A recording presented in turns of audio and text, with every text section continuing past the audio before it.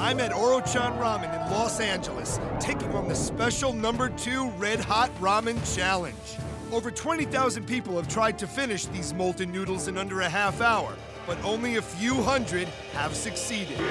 Taking the challenge beside me are two professional fire dancers. Seven minutes in, and I am still going strong. He's an animal over there. Look at him. How you doing? You're starting to sweat?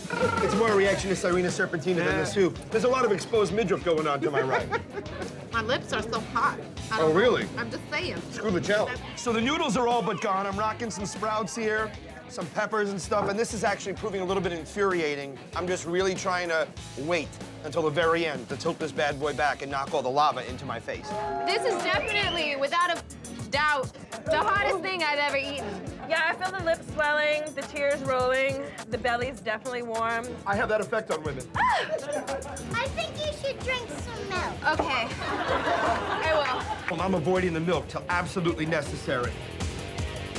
15 minutes left. My time is half up, and I'm faced with the toughest part of the challenge the fiery broth. I don't know how I'm gonna pull this off. I feel like I need to just suck some back. Hello! This is what separates the men from the boys and my interior stomach lining with the rest of my stomach.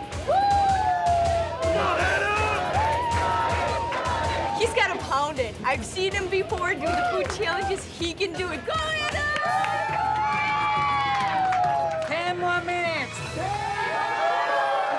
He's crying, y'all. Don't cry.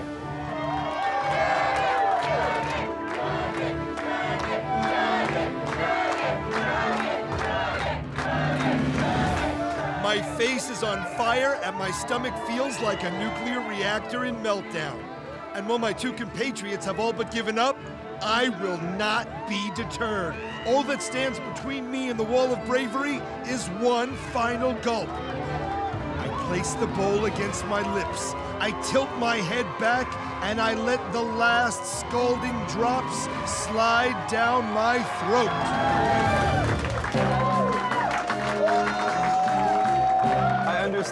Why 20,000 have tried and only a few hundred have succeeded. And you know, when you win a victory like this, you wonder, did I actually only win the battle and will the ramen win the war? and tonight, in the restroom, I'll know the answer to that question. Adam, so are you ready to join the Wall of Bravery? yes.